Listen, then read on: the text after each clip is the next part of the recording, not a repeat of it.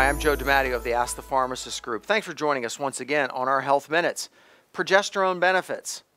Again, I said in the past I'm going to have a, a kind of a mini little series of these.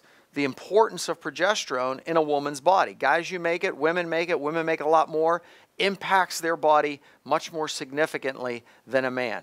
Quickly, looking at a 1990 article, and it seems old, but it's applicable. Endocrine Journal talks about the importance, the Endocrine Society Journal, talking about the importance of progesterone in stimulating bone mass.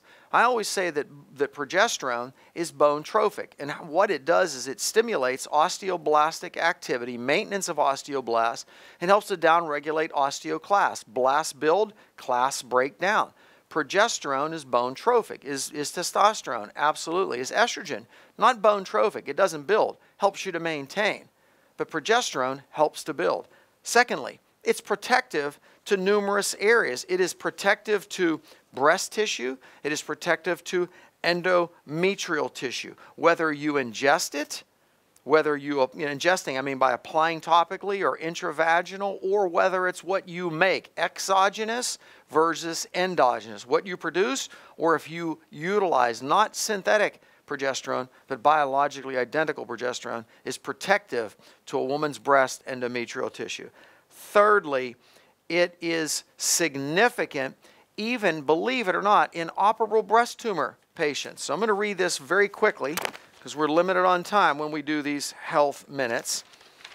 This comes from the British Journal of Cancer back in 1996 Serum Progesterone and Prognosis of Operable Breast Cancer. They go through and they measure a series, a number of women over a span of about 15 years, their progesterone levels, and when they do surgery and the level of progesterone and then the outcomes in those patients. Just listen to this.